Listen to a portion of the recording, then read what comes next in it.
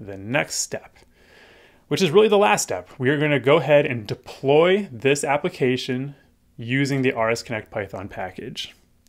Now there's a note right here. You will need to create and use an API key in order to deploy your Python application. And this is important because when you deploy to Posit Connect using this package, the RS Connect Python package, Connect needs to know who's actually trying to deploy and make sure you have the necessary credentials and the privileges to actually deploy to that instance of Posit Connect.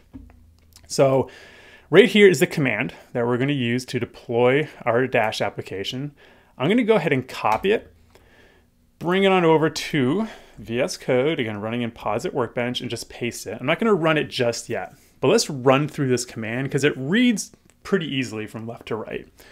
So we're using that RS Connect Python package, so this uh, um, function right here, to deploy a Dash application to this server, this instance of Posit Connect. And then you can see this next argument, API key, and then there's some placeholder text right here. So this is where you're going to supply that API key to let Connect know that, hey, it's me deploying this Dash application to that instance of Posit Connect. So where do we find this API key? Let's go back to Posit Connect, which I've already logged into. I'm going to close out of this Jumpstart example because we're pretty much done with it for the most part. And I'm going to go over here to the, uh, my name in the top right corner, and you'll see API keys. So you can click on API keys, and you can see I've already created about four or so API keys. If you need to create a brand new one, you just select this box right here, copy that API key, come on back over to VS Code, running in Posit Workbench, and paste it right here. Now, API keys you should always treat just like you would any password, so you want to make sure they're nice and safe. I've actually already added this to my environment, so I'm just going to delete this argument, and the RS Connect Python package will automatically detect it when it runs this command. And then the last little bit, this dot, and then the, the forward slash right here, it, RS Connect will automatically detect this app.py application in the directory and deploy it. So that's it. This is the command. We'll hit enter and we'll let it run.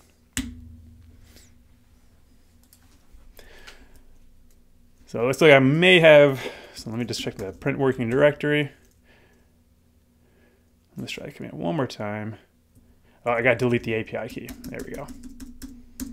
And hit enter. There we go. So it's going through a few checks right here, like validating the server, making sure that bundle looks good, everything seems to be in order, okay. If anything's not in order, it should print some nice useful messages for you to help troubleshoot.